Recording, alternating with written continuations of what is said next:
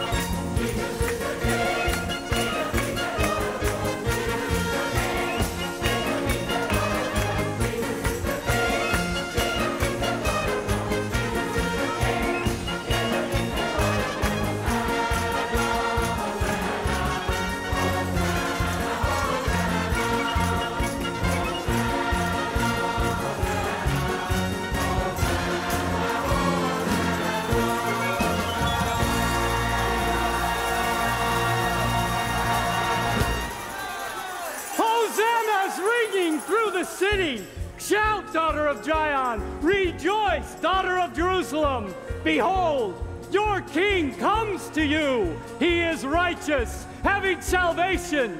He is gentle and riding on a donkey. Messiah has come. Where are you going? What are you afraid of? Don't leave now. This is what you've been praying for, hoping for. Where is your faith?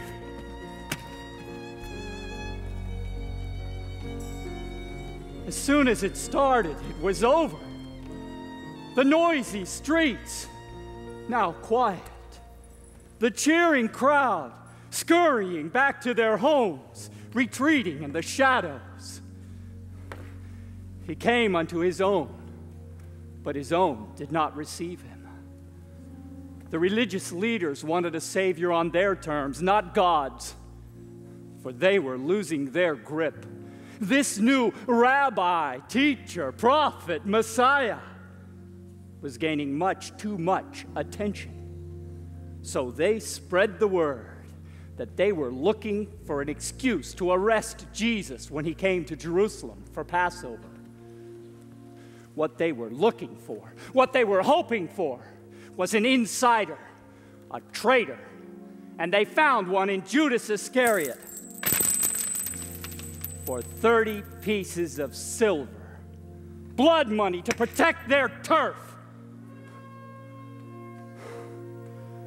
Finally, Thursday, the first day of the feast of unleavened bread, Jesus sent John and me ahead to prepare the upper room. But I could have never guessed what was going to happen. what was going to change in the span of an evening meal. Jesus began by telling us he was about to celebrate his last Passover with us before he suffered. We should have known what he was talking about. He said it plainly, scriptures pictured it clearly. But we didn't realize, we didn't understand. Then Jesus said there was one at the table that was about to betray him. He said, It is the one with whom I dipped this bread. And he dipped with Judas Iscariot and sent him from the room. Then there's a ruckus at the table. James and John arguing about who would be the greatest in the kingdom. When Jesus got up and showed us what great really means.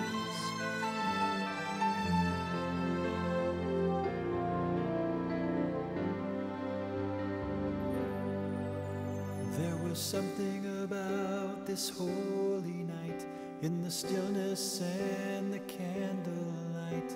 The time had come to hear the final plan.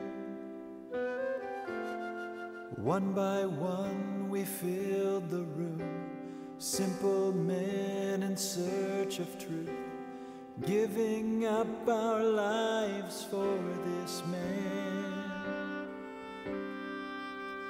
And once the bread and wine became a picture to us all, he wrapped a towel around him, pouring water in a bowl. And from the place of honor that was given as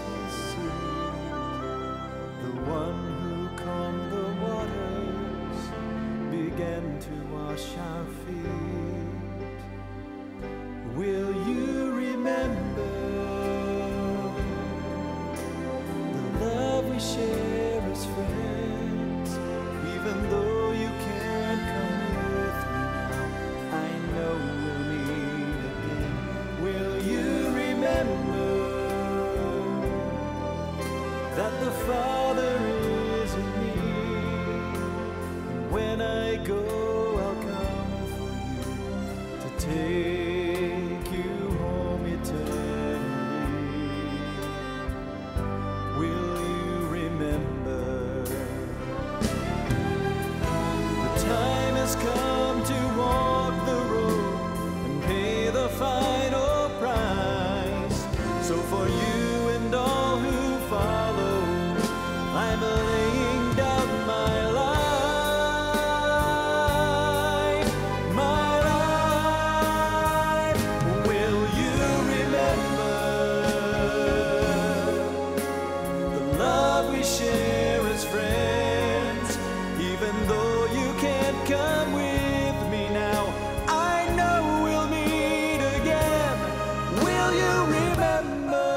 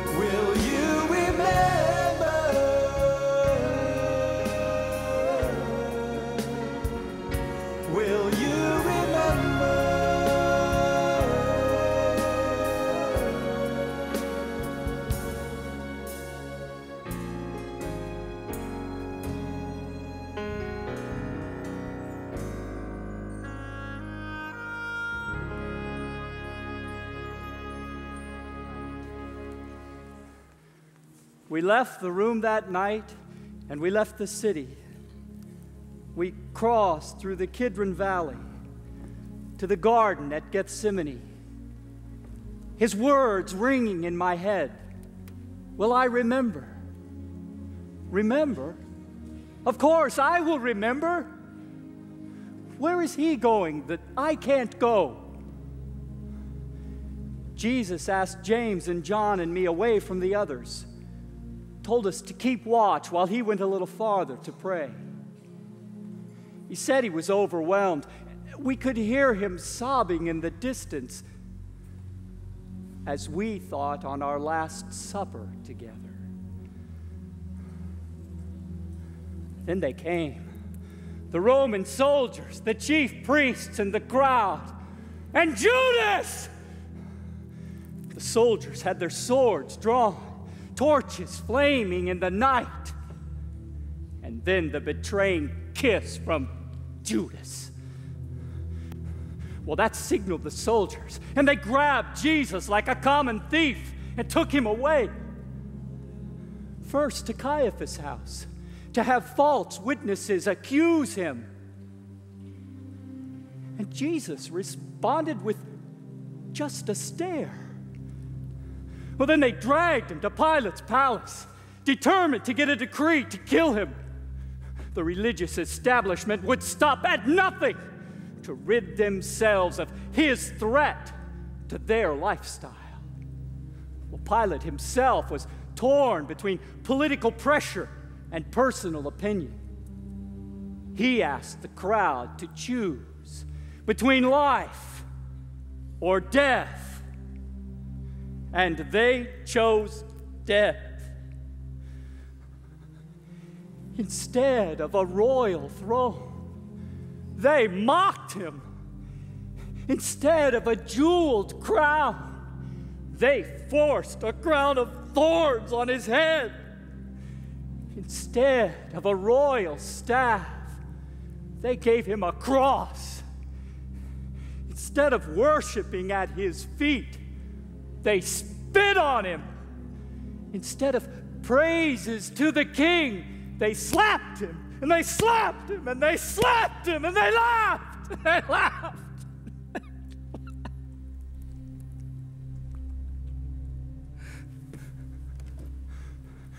Where are the crowds? Where are the hosannas to the king now? The last I saw of Jesus, he was dragging himself and his own cross to his own death.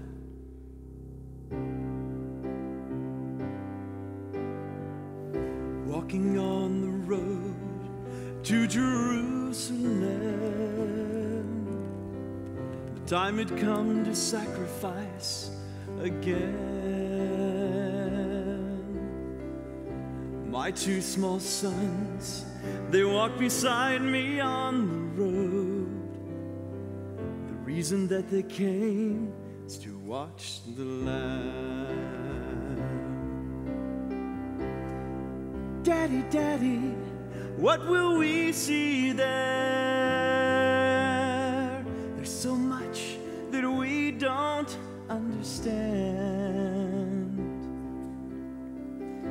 So I told them of Moses and Father Abraham. And then I said, Dear children, watch the Lamb. For there will be so many in Jerusalem today.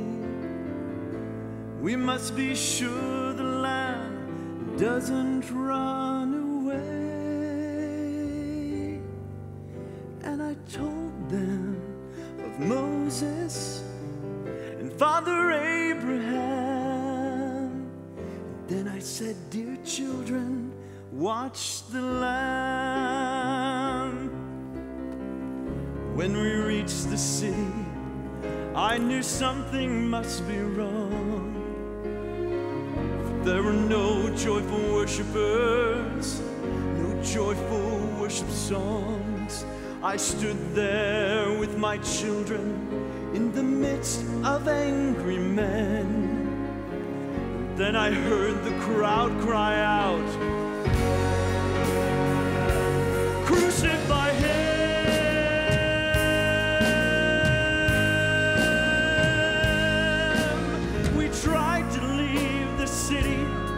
but we could not get away. Forced to play in this drama,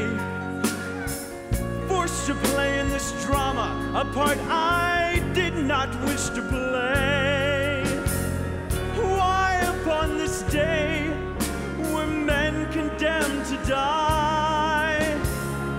Why were we standing here where soon they would pass by? I looked and said, even now they come. The first one cried for mercy, people gave him none. The second one was violent, he was arrogant and loud. I can still hear his angry voice screaming at the crowd. Then someone said, There's Jesus. I scarce believe my eyes. A man so badly beaten, he barely looked alive. Blood poured from his body, from the thorns upon his brow, running down the cross, falling to the ground. I watched him as he struggled. I watched him as he fell. Cross came down upon his back. The crowd began to yell. In that moment, I felt such agony. In that moment, I felt such loss. Until a Roman soldier grabbed someone's arm and screamed, You!